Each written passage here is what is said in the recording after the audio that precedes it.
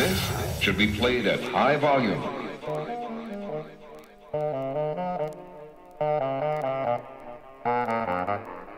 This